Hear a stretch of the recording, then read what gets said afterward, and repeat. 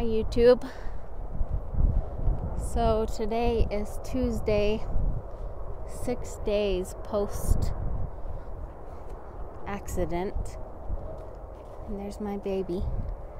Hi, sir. Hi, big guy. yes, he smells the snacks that I have stuffed in my back pocket. oh my goodness. Such a sweet boy.